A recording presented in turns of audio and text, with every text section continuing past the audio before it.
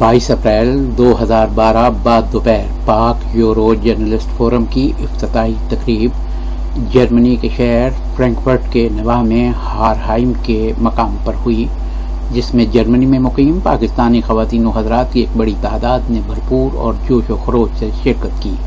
इसके अलावा चंद जर्मन इनकलाबी साथियों ने भी इस तकरीब में हिस्सा लिया। जर्मनी में ये बड़ा इनकलाबी प्रोग्राम था। इससे पहले लाल खान की किताब पाकिस्तान की असल कहानी की एक तकरीब भी हो चुकी है। पी यू जे एफ़ का ये प्रोग्राम जिसमें छोटी और जाली तारीफों नंबर टेंग सियासत और तकरीरों की बजाय इल्मी और फिक्री तकारीर हुई और संजीदगी से पाकिस्तान और बैन अवी मौजूदा मुआशी, सियासी और समाजी मसाइल पर न सिर्फ़ बहस की गई, बल्कि एक इनकलाबी और अवामी लाए अमल को भी पेश किया गया। इस तकरीब का आगाज़ स्टेट सेक्रेटरी ताहिर मलिक नाइब सदर जर्मनी पाक यूरो जर्नलिस्ट फोरम ने किया, जो एक पुराने बाएँ बाजू के कॉमरेड हैं और भुट्टो दौर में मसावत अखबार में फोटोग्राफर की हैसियत से काम कर चुके हैं। उन्होंने स्टेज पर सबसे पहले चिंगारी डॉट कॉम के एडिटर और पाक यूरो जर्नलिस्ट फोरम के सदर दानियाल रजा को तमाम मेहमानों के तारुफ के लिए बुलाया। मेहमानों में सबसे पहले जर्मनी में बाएँ बाजू की वेबसाइट डेयर फेंके के एडिटर और जर्मन सहाफ़ियों की ट्रेड यूनियन डीजेयू के मरकजी रहनुमा हंस गराट और फिंगर आए इसके बाद Die Linke the left party की तरफ़ से मुंतखब पहली पाकिस्तानी काउंसलर समीना खान इसके बाद आलमी अखबार के मुदिर आला और पाक यूरो जर्नलिस्ट फोरम के चेयरमैन सफदर हमदानी और फोरम के मालियाती मशीर और दानश्वर जमालुद्दीन को स्टेज पर बुलाया गया प्रोग्राम का आगाज़ ताहिर मलिक ने अल्लामा इकबाल के शेर से किया तुम हया और शरीयत के तकाजों की बात करते हो। हमने नंगे जिस्मों को मलबू से हया देखा है। हमने देखे हैं अहराम में लिपटे कई इबलीस। हमने कई बार में खाने में खुदा देखा है। कॉमरेड सईद खान जो चंगारी फोरम के सदर और पाक यूरो जर्नलिस्ट फोरम के सीनियर नायब सदर हैं, उनको पहले तकरीर के लिए बुलाया गया, जिन्होंने कहा कि ऑल इंडिया नेशनल कांग्रेस अंग्रेज़ों ने बरतानिया साम्राज्य के मफादात के तहफ़ के लिए बनाई थी। इसके बाद रफीक चौधरी आए, जिन्होंने कहा कि पाकिस्तानी अवाम मौजूदा तमाम हुक्मरानों से मुकम्मल मायूस और तंग आ चुके हैं। सब अवाम को धोखे देते आए हैं, लेकिन अब पाकिस्तान में एक तब्दीली का अमल जारी है, जिससे अवाम जल्द इनकलाबी नतज अख्स करेंगे। कॉमरेड कुद्दूस ने कहा कि मैं सिंध के पसमानदा तरीन इलाके कोटरी से ताल्लुक रखता हूँ, जो पाकिस्तान से नहीं, बल्कि तमाम दुनिया से कटा एक महरूम तरीन इलाका है, जहाँ दुनिया एक अलग आबाद है। यहाँ जागीरदार खुदा से ज़्यादा हाकम है। हमने सारी ज़िंदगी जिन निसाबी किताबों में अलामा इकबाल और कायद आज़म का विरद किया, लेकिन जब बड़े हुए और अमली ज़िंदगी में दाखिल हुए तो हमें तमाम तालीमी निसाब झूठा और जाली और बेकार लगा। खुर्शीद अली ने अपने खिताब में कहा कि इकबाल पर वो डोर टींगे मारते हैं जिन्होंने इकबाल को पढ़ा ही नहीं। अगर पढ़ा है तो समझा नहीं। हमें आज के हालात बदलने के लिए ज़रूरत है कि ज़्यादा से ज़्यादा इकबाल की शायरी को फ़िक्र के हवाले से समझें। आफ्ताब हसन खान ने अपनी खूबसूरत शायरी से हाजरीन को एक बेहतरीन तफन तबाह मुहैया किया।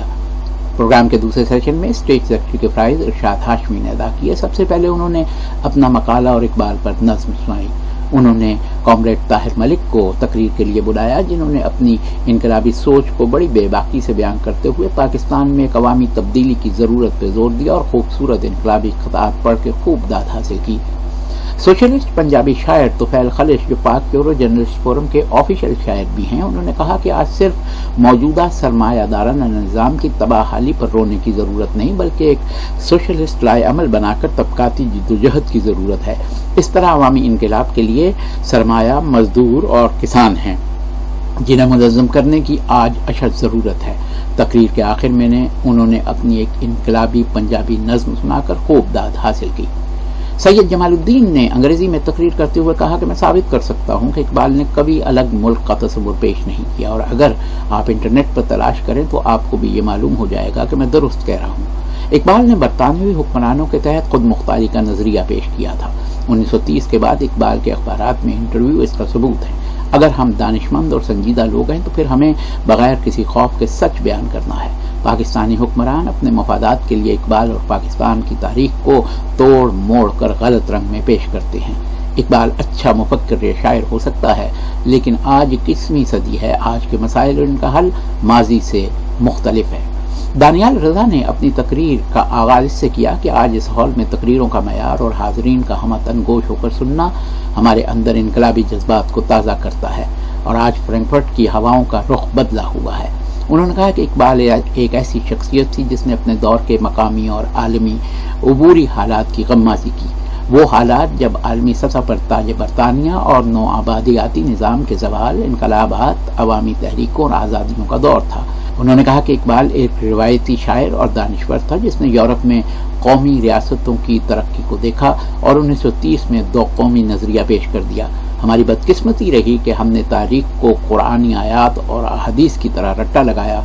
इससे कुछ सीखने के बजाय इस पर किसी आसमानी सहीफे की तरह ईमान ले आए और अपने ऊपर लागू करके शौरी परागंदगी को उरूज बख्शा। इसलिए जब तक ज़ाती मुनाफो और निजी मलकियत का खात्मा नहीं हो जाता और तमाम वसाइल का रुख और मकसद अवामी ज़रूरियात का हसूल नहीं बनाया जाता, मीशत को मनसूबाबंदी के जेर तहत नहीं चलाया जाता, यह मौजूदा निज़ाम मजीद तबाही और बर्बादी फैलाएगा।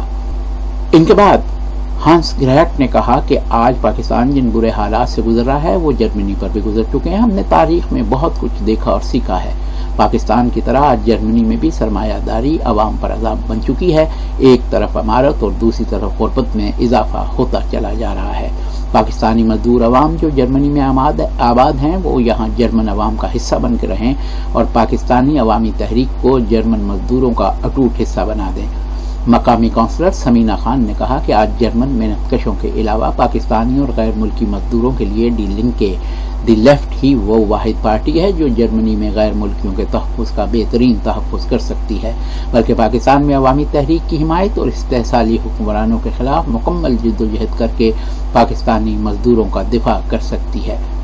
तकरीब में आखिर में तकरीब के मेहमान खसूसी और पाक यूरो जर्नलिस्ट फोरम के चेयरमैन और आलमी अखबार के मुदीर आला लंदन से तशरीफ़ लाए सफदर हमदानी ने हंस ग्रे हार्ट और समीना खान का तहदिल से शुक्रिया अदा किया और जहालत जदा मुल्ला और मुलायत की लानत के खिलाफ तकरीर करते हुए कहा कि आज अवामी इस्तेसाल में मुलाओं का एक भयानक किरदार है, जिससे निजात हासिल करने के बगैर माशरे की कोई तब्दीली नहीं।